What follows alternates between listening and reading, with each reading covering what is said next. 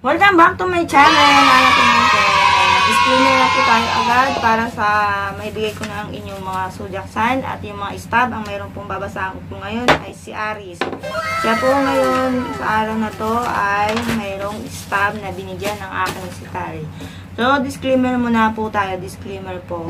Ang video ito ay para po sa kapalan ng mukha at huwag pa maniwala sa aking sinasabing sign at tarot card. Huwag kayo mag-PM sa aking sekretary kung ba't hindi angkop ang inyong sign sa inyo.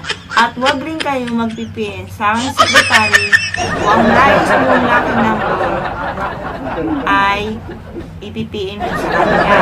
I-tarot card ang bahala sa inyo. Huwag na huwag din kayong magagalit sa akin. Huwag kayong magagalit sa akin. Peace tayo. Kung ang inyong zodiac sign ay ayaw sa inyo, marunong pa kayo sa zodiac sign. Take note. Huwag kayong iasa sa akin ang mga kapalaran nyo at zodiac sign.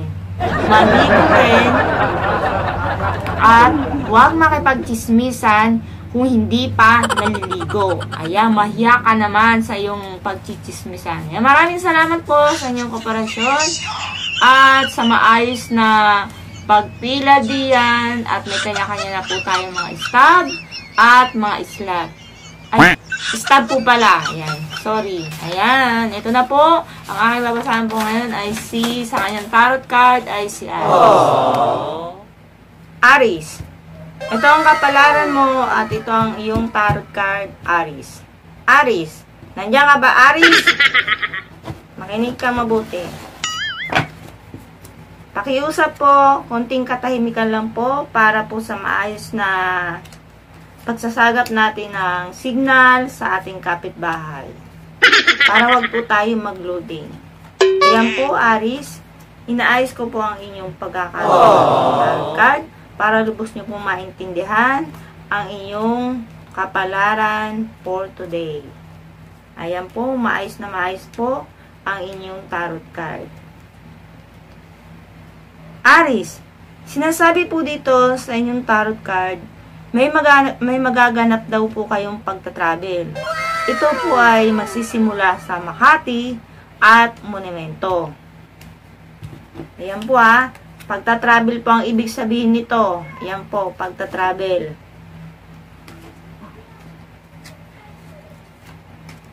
Tahimik lamang po, tahimik.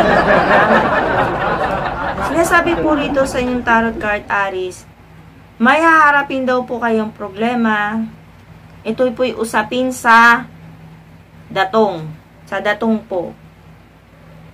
Sabi po rito sa tarot card nyo, kukulangin raw po kayo ng pambayad sa bus. Kaya naman, ang nangyari, narapat na lamang kayo bumaba sa Santulan, Cubao, imbis na kayo bababa sa mismong monumento. Sinasabi dito sa inyong kalusugan, Aris, sabi ng iyong tarot card, tamang-tama ang iyong paglalagat, paglalakad, patungo sa inyong pupuntahan. Pagpapawisan kayo, at ito'y makakabuti sa inyong kalusugan, sa inyong paglalakad. Saglit lang po, Aris. Babalik ka rin ko lang po.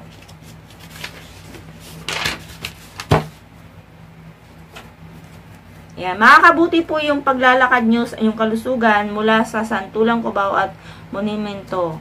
Ayan. Makakabawas po ang inyong timbang Aww. at makakapag-exercise pa po kayo. Ayan ang inyong lucky color po. Aris, red. Yan ang suot ng inyong damit sa pagta-travel. Sa lucky number naman po, nyo Aris, 9, 60, 90, 60. Ayan po ang ibig sabihin po no, ng inyong tarot card Aries. Ayan, mag-slide po kayo kung naintindihan niyo po aking magbabasa ng tarot card. Alam ko pong talagang 100% na hindi niyo po nagugusan ng aking magbabasa ng aking tarot card. Ayan, a million thanks to everyone. Dislike lang po yan, libre yan. At mag-subscribe kayo sa iba, libre din. At maraming salamat.